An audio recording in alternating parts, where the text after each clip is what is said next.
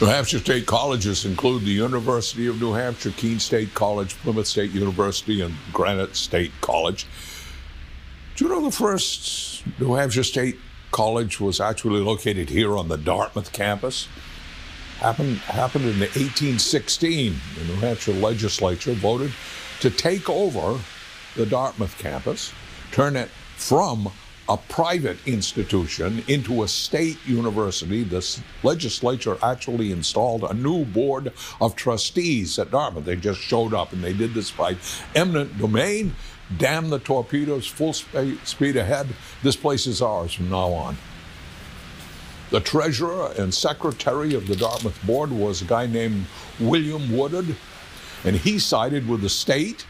He took with him the college's charter and sealed, and it was a done deal, except, except that most of the Dartmouth faculty and the graduates and the students hated this. They disagreed with the change, and they fought it, took it all the way to the United States Supreme Court. The case was heard in 1819.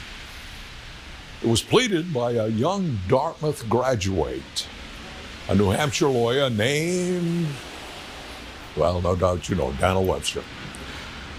Webster's defense was a triumph. The case was called Dartmouth College v. Woodward, and the court sided with the old college, five to one.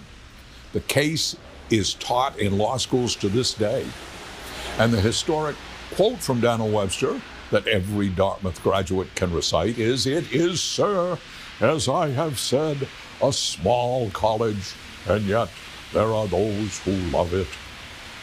Which, when said, brought a tear to the eye of Chief Justice John Marshall.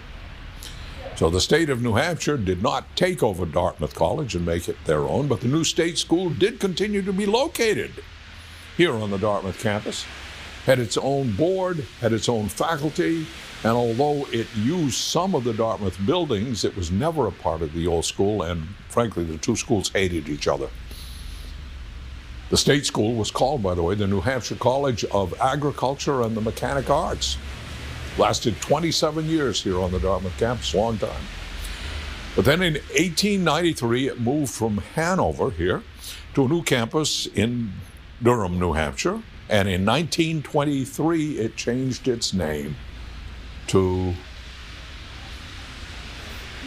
University of New Hampshire.